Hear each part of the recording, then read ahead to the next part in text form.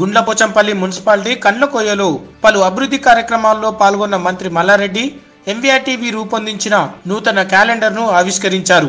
ఈ కార్యక్రమంలో మంత్రి మల్లారెడ్డితో పాటు Gundlapochampally municipal chairman Maddula Lakshmi Srinivasa Reddy MVRTV managing director మరియు మేడ్చల్ సీనియర్ నాయకులు Maddula Srinivasa Reddy commissioner Lavanya vice chairman Prabhakar కౌన్సిలర్లు దొడ్ల మల్లికార్జున ముదిరాజ్ పెంటయ్య ముదిరాజ్ బాలరాజు మాజీ సర్పంచులు నరేందర్ రెడ్డి రవీందర్ గౌడ్ స్వామి పలువురు నాయకులు పాల్గొన్నారు.